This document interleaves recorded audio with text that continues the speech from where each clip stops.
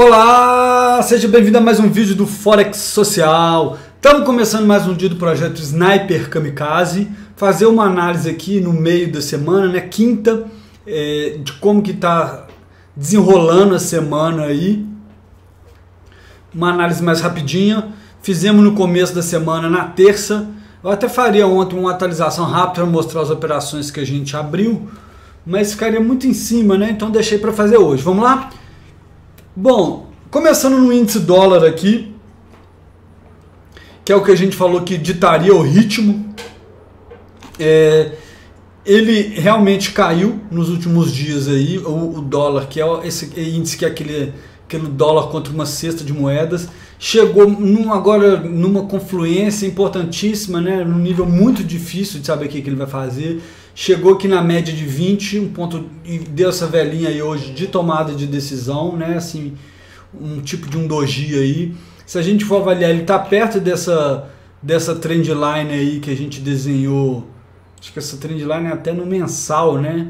continua lá perto dessa trendline. Se a gente vier aqui ó, no de 4 horas, a gente consegue desenhar outra trendline, ou fa famosa LTA, né, linha de tendência de alta. É, aqui ó, no 4 horas a gente consegue enxergar isso. Ela também, essa linha também é visível aí no diário. Ó. Eu vou colocar as velhinhas aqui e vou, olha só, no diário ela está aí, certo? É, aqui, ó, aquilo fica até mais bonitinho se a gente fizer aqui assim. Não, gostei mais da outra. Vamos voltar.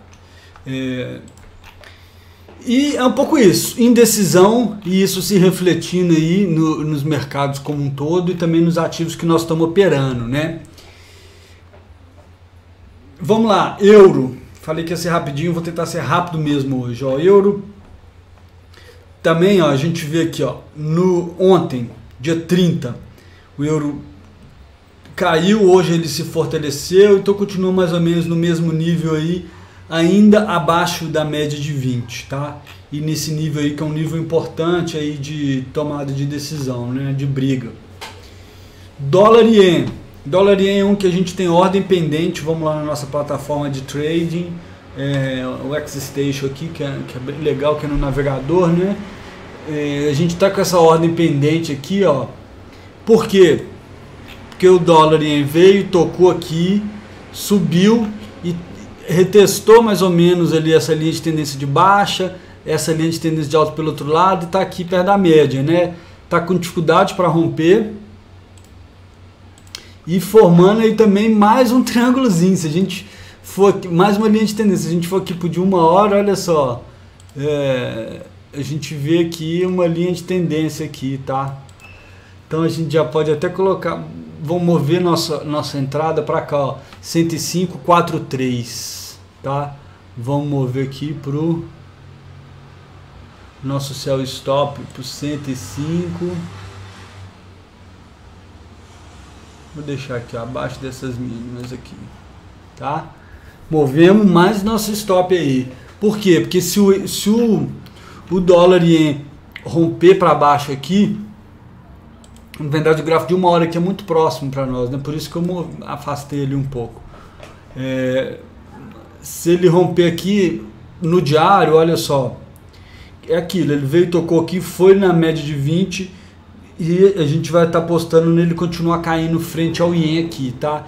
E esse é legal que nesse caso a gente teria uma confluência no semanal aqui diferente dos outros ativos. Então esse aqui seria sim uma bela entrada para o sniper, tá?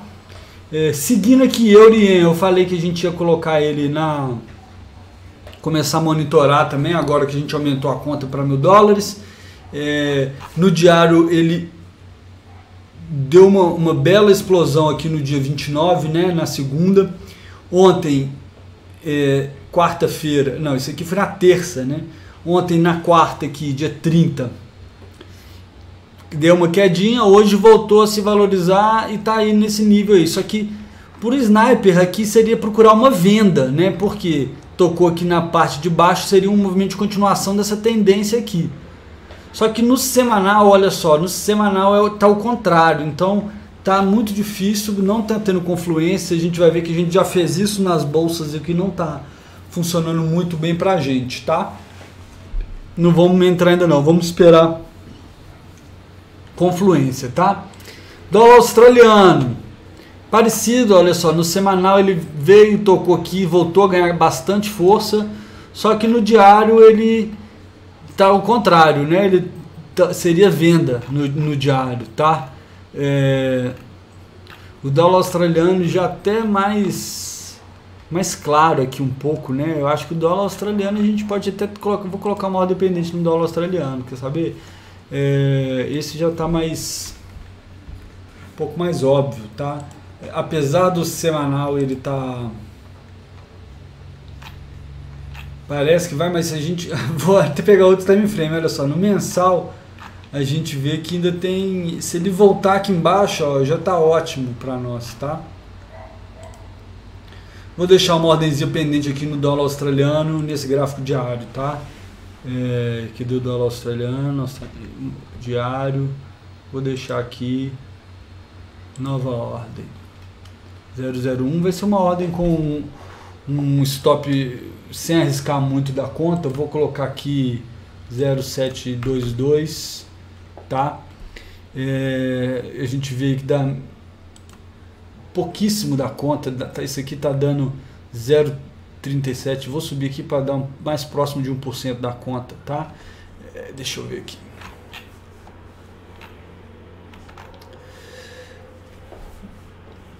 O que, que eu estou com dificuldade aqui? Porque se a gente colocar uma venda aqui, a gente está esperando um fortalecimento do dólar contra moedas emergentes, né? moedas de commodities, uma, uma certa aversão a risco de certa forma. Que é também o que a gente já está postando nas outras trades, né? Porque são bolsas em baixa. Mas vamos lá, eu vou fazer isso então. Vou deixar nossa ordenzinha e vou colocar 0,3, porque senão fica fica um risco muito baixo da conta e não faz sentido, né? Assim, as outras trades lá a gente arriscando 5%, 6% da conta, é, que 1,5% da... Vamos lá, não, ainda mais aqui, ó. 1,8% da conta. Tá bom. É... Vou ajustar aqui depois. Nossa, eu colo... Putz. Eu era para ser uma ordem pendente. e eu já eu executei a operação, que burro. É... Vou fechar, tá? Foi um erro operacional meu aqui, ó. Tomamos, perdemos aí 2 3 dólares. Na verdade aqui, ó, um sell stop que eu quero. Já vou ordem pendente, eu deixei execução instantânea, desculpa, tá? Por isso que também tava ficando ali um, um stop tão por isso que tava ficando ali um risco tão pequeno da conta, eu tava achando até estranho.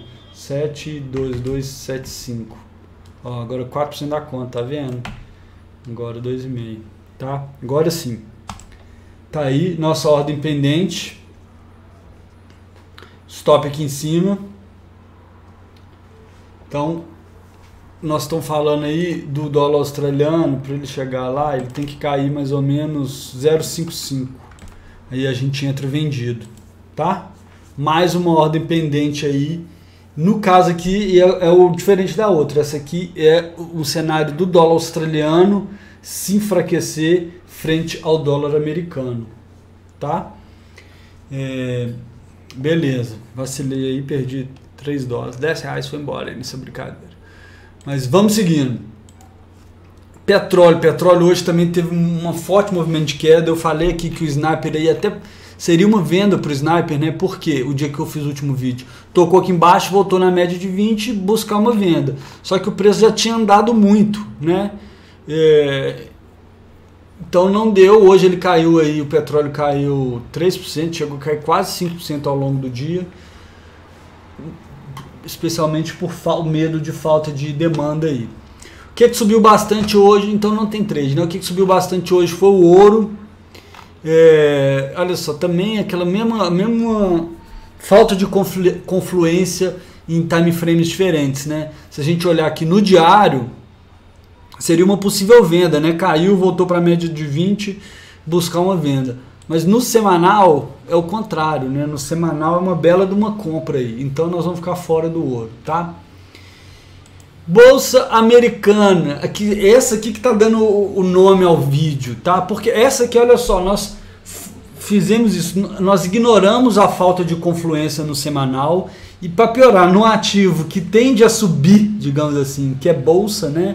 E, entra, e colocamos uma ordem vendido no diário.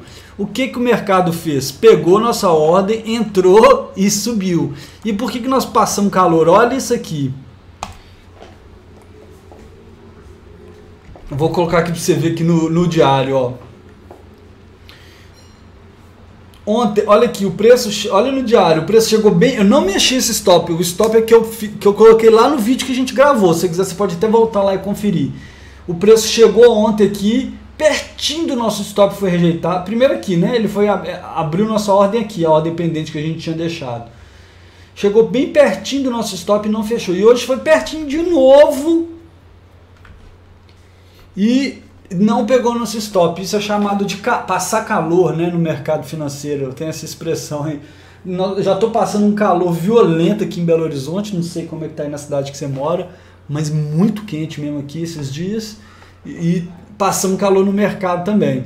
É, ainda está bem próximo do nosso stop. Você está vendo que nós estamos perdendo aí quase 30 dólares nessa operação por enquanto, né? Que é uma operação que nós arriscamos aí é, 4% da conta, igual eu tinha falado, bem mais do que aquela ali do dólar australiano que a gente deixou aberta, tá?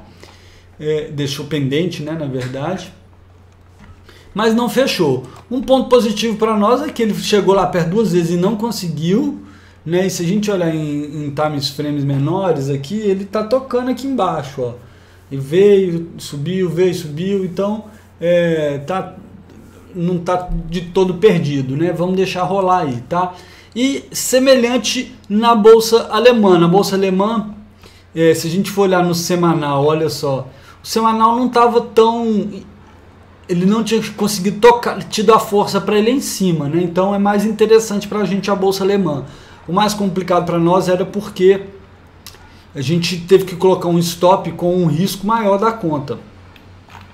Mas olha só, nos últimos três dias a bolsa alemã caiu. Ela tenta subir e não teve força. Esse aqui já está bem mais animador, tá?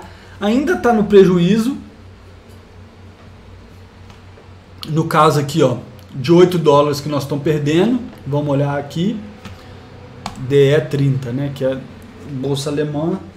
É, mas está bem próximo da nossa entrada. Olha só, vou para o diário, tá? É, aqui, ó. Dá um, e vou dar um zoom aqui.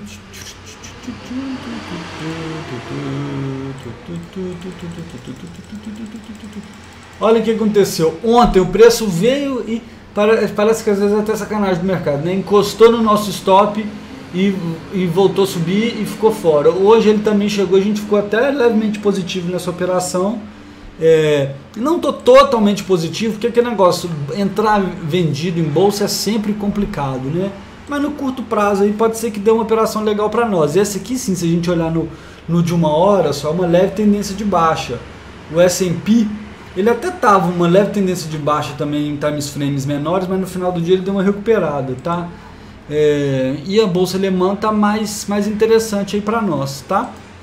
É, então é isso dos ativos que a gente opera. Eu não vou falar de bolsa brasileira não, para não estender muito o vídeo. Queria fazer mais curtinho hoje, já foi maior colocamos uma ordem pendente aí no dólar australiano, estamos com ordem pendente no dólar ien, fizemos uma cagadinha de abrir uma operação aqui no dólar australiano que a gente não queria, mas tudo bem, a gente fechou rapidinho, pagamos, demos só um dinheirinho aí para a corretora, acontece, é, mas isso que é bom do mercado de Forex, né? Uma corretagem bem mais baixa, né? Nós, era uma ordem de 3 mil dólares australianos e nós pagamos 3 dólares aí de, de spreadzinho, né? De compra e venda.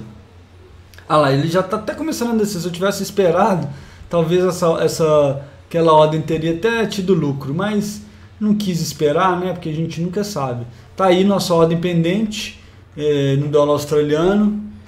É, agradeço por você assistir mais esse vídeo. Espero que você tenha gostado. Esteja gostando do Sniper Kamikaze.